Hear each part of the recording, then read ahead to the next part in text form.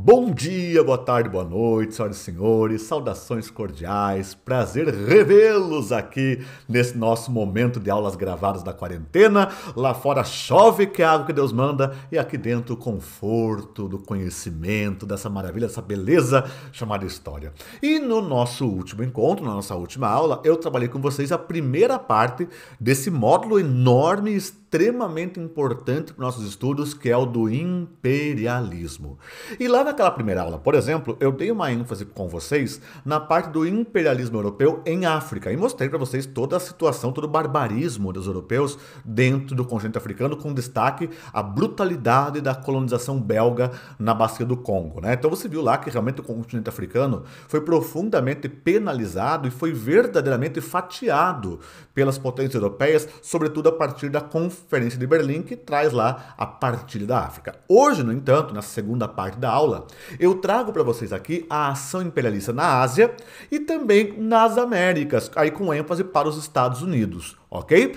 E começa então o nosso passeio pela China, pelo antigo, pelo outrora orgulhoso Império Chinês. Pessoal, o Império Chinês agora ele estava sob domínio da dinastia Qing, tá? Desde a dinastia Ming, o Império Chinês começava a enfrentar um declínio, ok? Então, a dinastia Ming, ela marcou um declínio do mundo chinês. Quando os Qing né, assumem, por exemplo, o Império Chinês, eles tentam restaurar a glória do Império e tentam fazer reformas importantes. Só que essas reformas não demoram muito, começaram a incomodar outras potências. E assim, é bom que se diga que diferentes países vão tentar dominar o mercado chinês. Não vão transformar a China em colônia, mas vão agir de modo imperialista para com a China então enfraquecida. Países como Japão, sim, o Japão, a relação Japão-China nunca foi muito boa. Rússia, é, Alemanha, França, Itália e o destaque, a Inglaterra.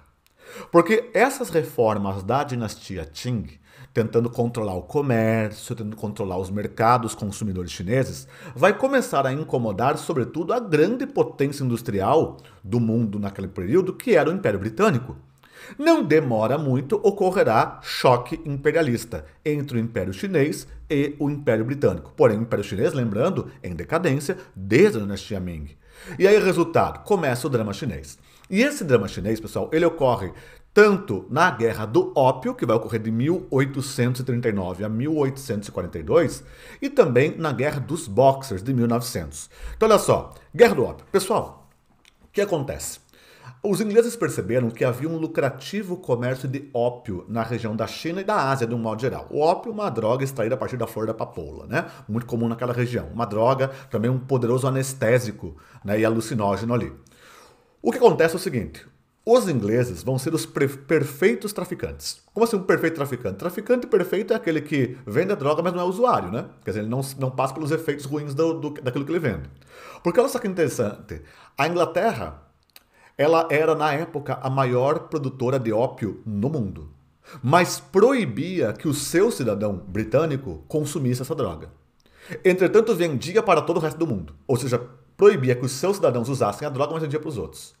E na China, pessoal, por conta de uma série de tradições culturais e também pela própria miséria do povo chinês, essa droga entrou rasgando na sociedade chinesa.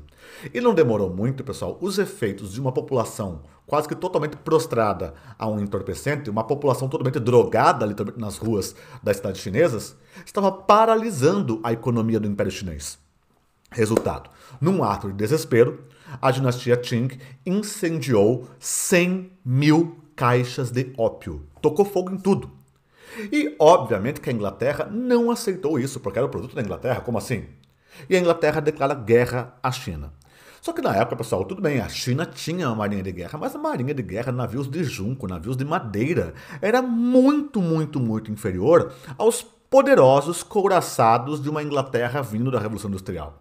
Então não foi tão difícil, a Inglaterra destruiu completamente a armada chinesa e obrigou os chineses a assinarem um tratado que foi visto como uma vergonha para a China, que era o Tratado de Nanquim. Esse Tratado de Nanquim ele é bastante significativo, porque quando a China assina esse tratado, ela tem que pagar indenização aos ingleses, ela perde territórios, ela perde um monte de coisas, ela é humilhada nesse tratado. E, inclusive, a China perde, pelo Tratado de Nanquim, o porto de Hong Kong. o importantíssimo porto na cidade de Hong Kong. Tanto que olha só que interessante, hoje eu e você associamos Hong Kong à China, Hong Kong pertence à China. Mas lembra, a China hoje é um país de sistema misto, né? Porque tem um país de matriz socialista, tudo bem que é aquele socialismo de mercado na China, né? E uma região que é Hong Kong capitalista. Porque Hong Kong só voltou ao domínio chinês em 1997. Quer dizer, desde essa época, de 1842 até 1997, Hong Kong era possessão britânica, portanto capitalista.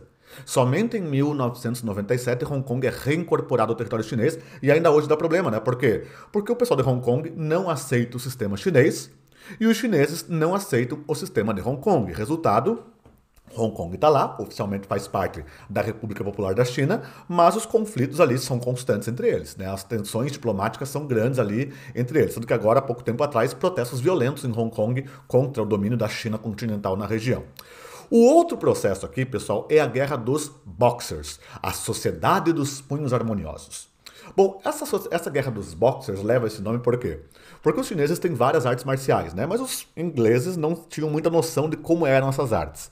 Então, como eles viram que esses caras usavam muitos punhos, e os ingleses conheciam o boxe, então guerra dos boxers. Na prática, são grupos de cidadãos chineses natos que não aceitam a presença europeia na região e começam a atacar missionários cristãos e por aí vai.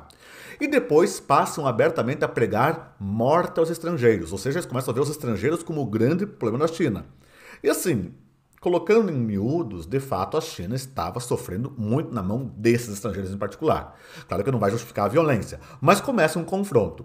O que aconteceu? Simples. A Inglaterra e todas as demais potências europeias e também asiáticas, como por exemplo o Império Japonês, vão formar um exército internacional, uma força expedicionária internacional, e vão esmagar sem grandes problemas a guerra ou a revolução dos Boxers. Isso vai levar, inclusive, pessoal, há uma tragédia na dinastia Qing, né? Quer dizer, vários oficiais Qings vão cometer suicídio, aquela coisa toda. Isso enfraquecia cada vez mais o já combalido, já balançado Império Chinês, tá bom? Outro ponto que nós podemos citar aqui são essas charges. Olha só que interessante. Lá em cima você tem então o dragão chinês abatido, né, caído no chão, ali escrito China, e os animais que representam as potências europeias, né, lutando pelo, pela carniça chinesa, né? Tem o lobo italiano, o leão britânico, tem o urso russo, tem a águia estadunidense e por aí vai. Todo mundo querendo então um pedaço do riquíssimo, do outrora riquíssimo Império Chinês. Ali embaixo, por outro lado, você tem um chinês, né? O como se fosse um imperador ali, tipo, assustado, berrando. E tal qual você viu lá, no caso africano, os europeus e também os japoneses aqui dividindo a China como quem corta uma pizza ou como quem corta um bolo. Né? Quer dizer, tá ali uma pizza, né? Uma grande pizza chamada China. Então, quer dizer, a China também estava sofrendo muito os impactos do imperialismo naquele momento. Porém, vem o ópio, né? E olha só o dano do ópio. Isso deu uma foto, pessoal, da época, tá? Dos fumadores de ópio. Nota que o carinha ali tá deitado e tá prostrado de ópio. E o ópio, além de deixar o cara completamente parado, né, totalmente grog, ele vai destruindo a pessoa e muitas pessoas vão morrendo em decorrência dos efeitos do uso prolongado do ópio. Então, pessoal, quando se fala do combate às drogas, não é só uma questão, ah, saúde, tem uma questão também de economia. Porque de repente você tem uma população paralisada por um vício massivo num entorpecente. E a economia começa a andar para trás. Por isso que o Império Chinês vai lá entra em desespero e queima aquelas caixas de ópio, o que abre espaço para que a Inglaterra tenha o pretexto da sua guerra, né? E aí chegamos então a essa ideia de imperialismo em China. Olha só quantas bandeirinhas estrangeiras e quantas flechinhas atuando sobre a China. Olha os russos, os russos atacando pelo norte, né? Japoneses ali pelo leste, né? Os japoneses que já haviam dominado a Coreia, inclusive. E perceba ali ó, que tem algumas rebeliões. Notem que bem aqui, onde eu estou apontando com o mouse, tá? Tem a rebelião Taiping. Foi uma rebelião gigantesca envolvendo um cara, um cara que se dizia é, irmão mais novo de Jesus Cristo, um chinês irmão de Jesus Cristo, e outro que se dizia, na realidade, a própria encarnação do Espírito Santo. Sim, cristãos na China.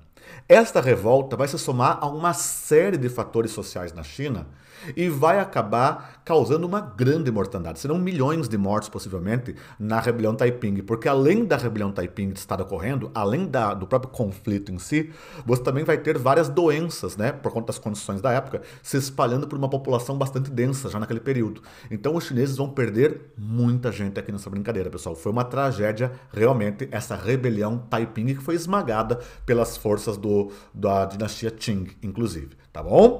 E aí, olha só, em 1912, então já no século XX, o último imperador da China, o chamado Puyi, Puyi, o último imperador da China, ele vai acabar sendo deposto, né? Porque a China vai ter uma república proclamada em 1912. Entre 1911 e 1912, a China está em convulsão. E aí é o fim do Império Chinês, o início de uma república nacionalista na China. Lembra que depois a invasão japonesa e só depois da Segunda Guerra Mundial é que nós vamos começar a ter aquela China que nós conhecemos hoje, a China popular a partir de Mao Tse Tung, mas só depois lá da Segunda Guerra Mundial, né? Mas aqui nós temos então uma república da China. Dica de filme. Uma obra de arte cinematográfica. Um filme espetacular. O Último Imperador, de Bernardo Bertolucci. Ele conta a história de Puyi, o último imperador da China. É maravilhoso o filme, o filme é fantástico. É um filme longo, mas muito bom, tá? É um clássico. E aí chegamos à Guerra dos Cipaios, caso da Índia, né? Os cipaios, pessoal, eram esses carinhas aqui, ó. Eram indianos, mas que lutavam no exército britânico. A Índia era vista durante muito tempo como a joia da coroa britânica. Só que, por exemplo, quando gente pensa na Rainha Vitória, aí você vai lá e assiste aqueles filmes do tipo Vitória e Abdul, né? A jovem Vitória, parece que a Rainha Vitória é uma queridona. Só que, pessoal, a Rainha Vitória causou uma mortandade de milhões de indivíduos aqui. Tá? A Rainha Vitória causou milhões de mortes aqui por conta do imperialismo britânico na Índia. Fome extensiva e por aí vai. No auge do imperialismo britânico, como lembra Eric Hobsbawm, até ester o esterco das vacas da Índia era um lucro para a Rainha Vitória. Então, quer dizer, foi uma exploração brutal aqui. E dentro disso vai ocorrer a Guerra de Cipaios. Por quê? Na época, pessoal, lembra que a Índia, ainda hoje, inclusive, ela tem setores muçulmanos, mais ao norte, e a maior parte do país é hindu. E lembra que muçulmanos não podem comer carne de porco e hindus não podem comer carne de vaca, por questões religiosas, né? Só que na época começou a circular um boato de que a, a bala dos fuzis era engraxada, para não travar no cano, eram engraxadas com banho animal. E aí, entre os hindus, começou a correr o boato que a banha era de vaca. E entre os muçulmanos, que a banha era de porco. Só que antes de você colocar o cartucho no fuzil, você mordia o cartucho, então você entrava em contato com aquela banha. E isso colocava tanto hindus quanto muçulmanos, então, em pecado. Soma esse, esse fator religioso um outro fator que era político. Porque um belo dia a Inglaterra baixou um decreto discriminando que se morresse um príncipe hindu, não assumiria o seu legítimo herdeiro varão. Então, se morresse um príncipe hindu, aliás, né, se morresse um príncipe hindu, e ele não deixasse um herdeiro homem, assumiria em seu lugar não um outro hindu, mas sim um governador nomeado pela Inglaterra, um britânico. Então, isso vai desagradar muito na Índia é, britânica. Tá? Então, eu tenho o fator de descontentamento religioso, ok? Aquele negócio da banha ali que eu falei para vocês. E um descontentamento de ordem política, que é essa determinação que colocaria um britânico no comando das áreas indianas caso um príncipe indiano morresse sem deixar um herdeiro varão, sem deixar um herdeiro homem. Isso vai levar à guerra dos cipaios. Obviamente, por mais bem treinados que os cipaios também fossem, eles não eram páreo para o poderio militar britânico. E se você não acredita no que eu falei, no dano, na barbárie da dominação britânica sobre a Índia, olha essa foto embaixo. Essa foto perfeitamente poderia ser de um campo de concentração nazista, né? Olha só a situação daquelas pessoas, pele e osso, olha aquelas criancinhas, mal canela possuem. Isso aqui, pessoal, são indianos sob dominação britânica. Isso aqui é apenas o efeito do imperialismo da Inglaterra sobre a Índia. Percebe? É o lado B da coisa, né? Bem mais trágico. E aí tem o imperialismo japonês, tá? Pessoal, até o século XVII, então até os anos 1600 e bolinha, o Japão estava isolado do resto do mundo. O Japão, aliás, proibia que qualquer navio estrangeiro chegasse no seu território. Chegasse ali, morria. Tá? O Japão proibia. Né? Aí você vai lá e assiste Ghost of Tsushima, né? Mônica não assiste, não joga, né? Mas olha só o que acontece. Nesse processo aqui, o Japão estava isolado. Porém, pessoal, no século XIX, uma esquadra de guerra americana comandada por um homem chamado Matthew Perry, Matthew Perry, eles vão acabar obrigando o Japão a assinar um tratado, o Tratado de Kanagawa. Esse tratado de Kanagawa é o primeiro tratado que tende então a reabrir o Japão para o resto do mundo. Então agora o Japão se abre para o mundo. É bem verdade que no passado outros europeus já tinham tentado chegar ao Japão e foram muitos massacrados, inclusive, né? Mas aqui é onde o Japão de fato se abre para o mundo. E nesse contato com os Estados Unidos, os japoneses começam a passar por um processo de modernização. Então, aquele mundo dos shoguns, até então o Japão, embora tivesse um imperador, era dominado por essas figuras, como você vê aqui na foto, os shoguns, que eram chefes militares. O Japão começa a desmontar a ordem do shogunato e a restituir o poder ao imperador. Existia imperador, mas era só um enfeite. Agora o imperador será de fato. Haverá uma guerra civil no Japão. Haverá uma guerra civil no Japão que vai acabar com o mundo dos samurais. É aquela coisa do último samurai. Vou acabar com os samurais japoneses e vou modernizar o país. Então eu rompi completamente com aquele mundo feudal nipônico e vou colocar o imperador à frente desse país. E aí o Japão vai iniciar uma rede de modernizações, ou seja, os japoneses vão incorporar técnicas ocidentais, indústria, modernização das forças armadas, mas conservando suas tradições culturais mais simbólicas, né? E aí é que vem a chamada revolução ou também era Meiji.